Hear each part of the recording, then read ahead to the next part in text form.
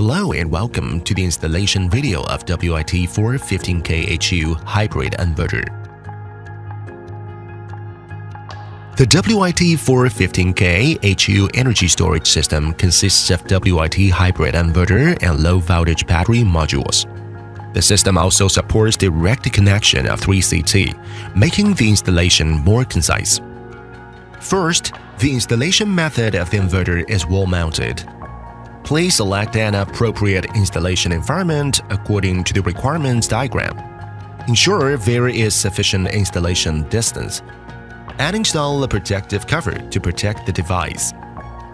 Before the installation, please prepare the following tools. Now you can move the inverter packages to the installation site and unpack it. Please inspect the product and accessories to make sure all the things are complete.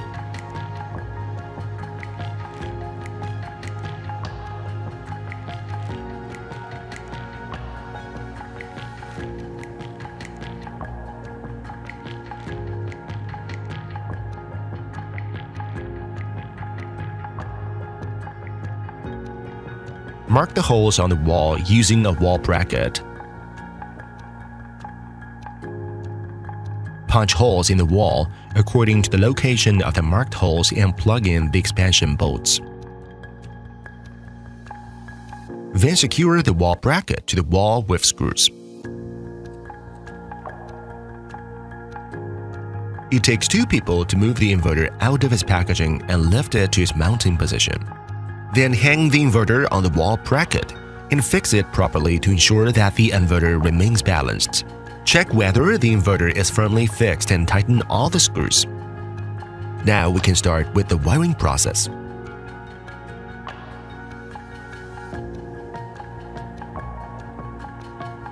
Please prepare the appropriate cable according to the form before electrical wirings.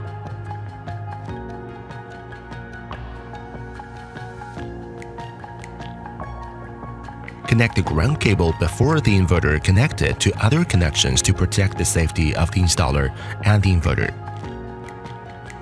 Use an Allen key to open the junction box cover of the inverter.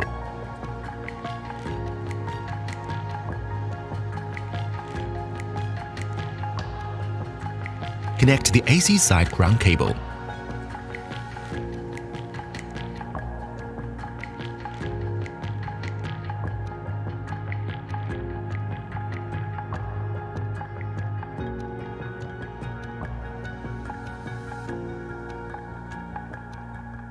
Strip the cable insulation to an appropriate length. Crimp the cable and terminal with crimping pliers.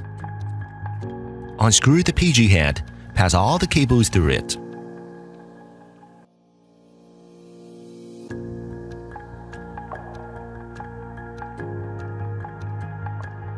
And then connect the cable to the corresponding terminal and tighten the screws to fix the cable. After connecting the cables, Tighten the PG head to ensure reliable protection.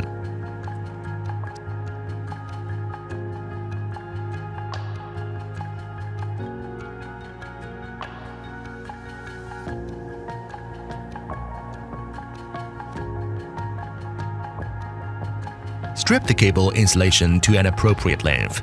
Crimp the cable and terminal with crimping pliers. Connect the positive and negative terminals of the PV module to the corresponding terminals of the inverter. Regarding the battery wiring, we would take the ASE battery as an example for introduction. Connect the battery ground cable to the inverter housing.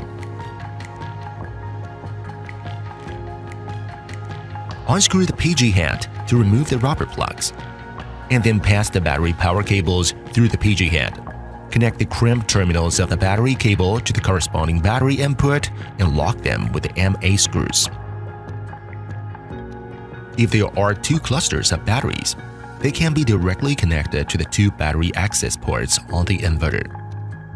Unscrew the PG head to remove the rubber plugs, and then pass the communication cables through the PG head. Connect the battery communication cable to the corresponding ports. The following figure is the description of the communication port.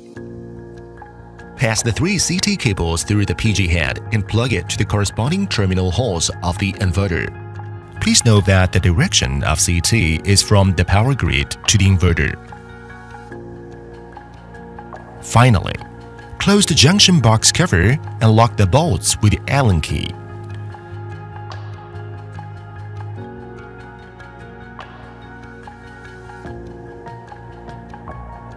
Remove the waterproof cover from the USB port. Then plug in and secure the Shine Line X2 data logger.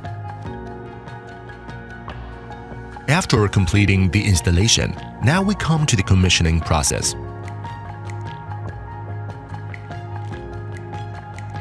Scan the QR code above to download the Shine Phone app. Or you can search for Shine Phone in the Apple Store or Google Play to download and install the app. Log in account and add plant.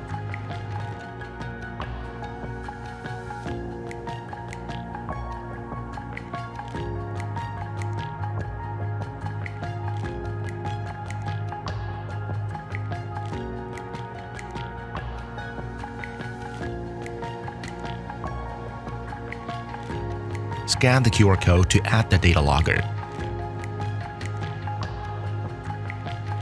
In this video, we choose Wi-Fi as an example.